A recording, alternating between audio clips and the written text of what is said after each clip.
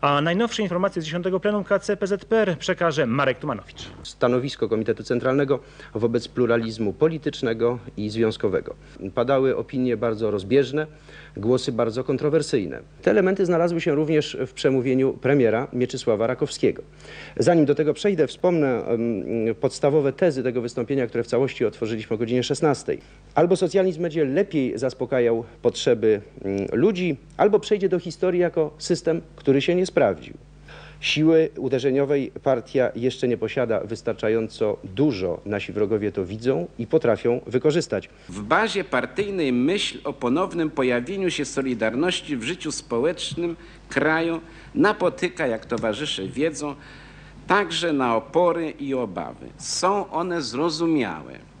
Rzecz bowiem w tym, że doświadczenia roku 1981 nie są kategorią tylko historyczną.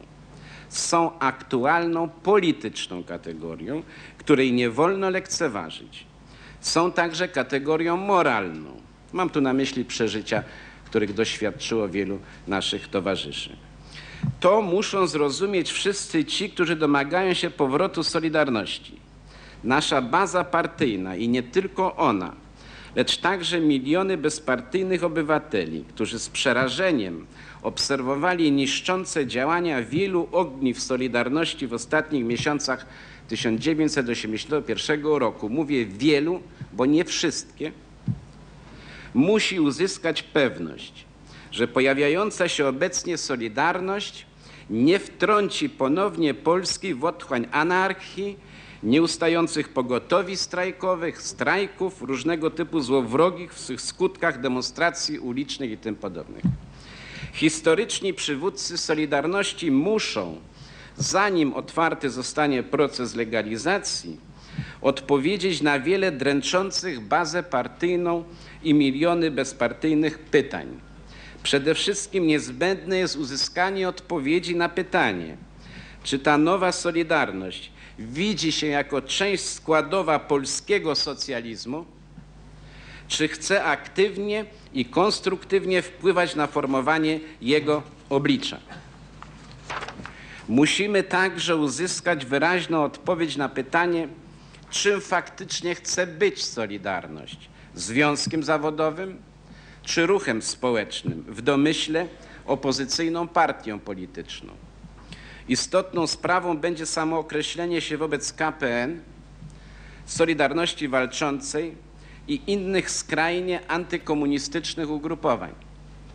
Sprawą zasadniczą pozostaje również stosunek przywódców Solidarności do finansowego zasilania jej działalności przez Kongres USA i różnego rodzaju organizacje antykomunistyczne.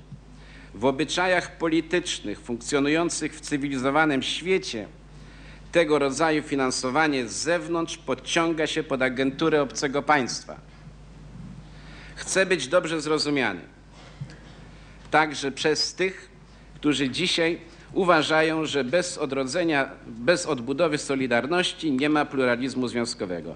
Stawiam wszystkie te sprawy w sposób jednoznaczny, bowiem kieruję się dążeniem do uniknięcia jakichkolwiek niedomówień. Od treści odpowiedzi zależeć będzie, czy potraktujemy Solidarność jako partnera, czego konsekwencją będzie otwarcie procesu legalizacji, czy też jako jednoznacznie określającego się przeciwnika politycznego, z którym trzeba prowadzić stałą walkę polityczną. Jak Państwo widzą, sprawa stosunku do byłej Solidarności, do szerzej rozumianej opozycji była w dzisiejszej dyskusji obecna. To wszystko w tym dzienniku. Dziękuję Państwu. Do widzenia.